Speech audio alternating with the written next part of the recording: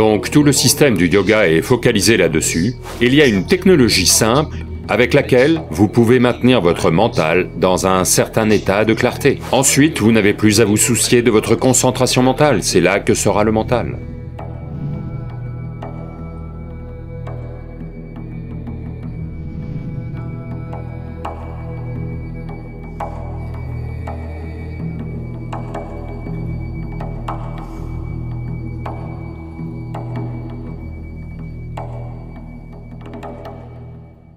Voyez, où que soit votre désir, c'est là qu'est votre mental, n'est-ce pas?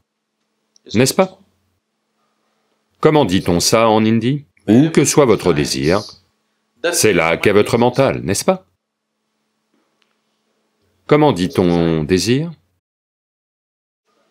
Icha. Donc, où que soit votre désir, c'est là que sera votre mental. Si vous désirez quelque chose intensément, votre mental sera toujours là. En ce moment, vous désirez la coupe. Ce n'est pas là qu'il faut être. Vous désirez un but, c'est ça que vous devez désirer quand vous êtes sur le terrain, n'est-ce pas? Maintenant, vous pouvez désirer la coupe. Mais une fois que vous êtes sur le terrain, vous désirez juste le but, et le but, et le but, rien d'autre. Une fois que votre désir est fort, votre corps et votre mental vont naturellement dans cette direction, n'est-ce pas? Quoi que vous désiriez, c'est là que vous allez. Si votre désir s'éteint, alors vous ne pouvez pas garder votre mental dessus.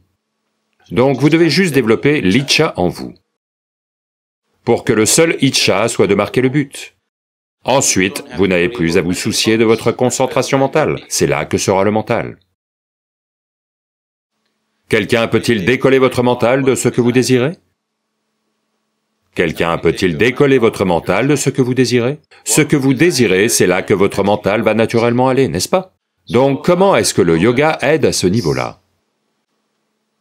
Voyez, quels sont les paramètres simples avec lesquels le corps et le mental fonctionnent? Ceci est une machine complexe. Ceci est la machine la plus sophistiquée de la planète. Le corps et le mental humain, n'est-ce pas? Tout ce qu'on a créé est issu de ce mental.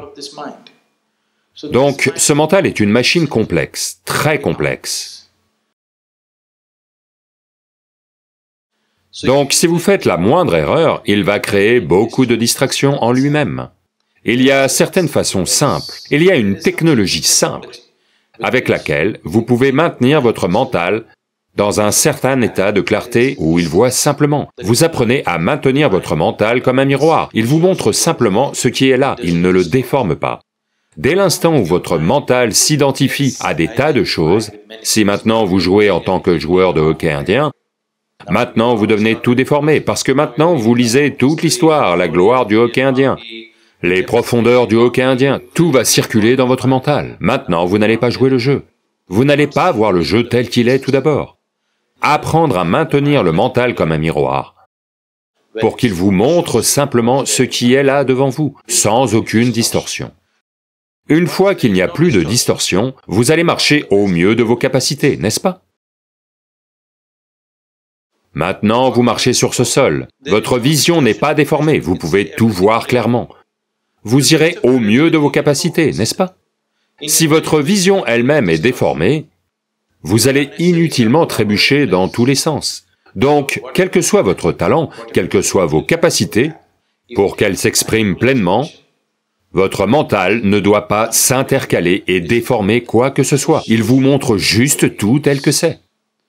Donc, tout le système du yoga est focalisé là-dessus, dans un but spirituel qui peut être aussi utilisé pour le sport. Il vous montre tout juste tel que c'est, pas d'une autre façon, pas de la façon dont vous pensez que c'est.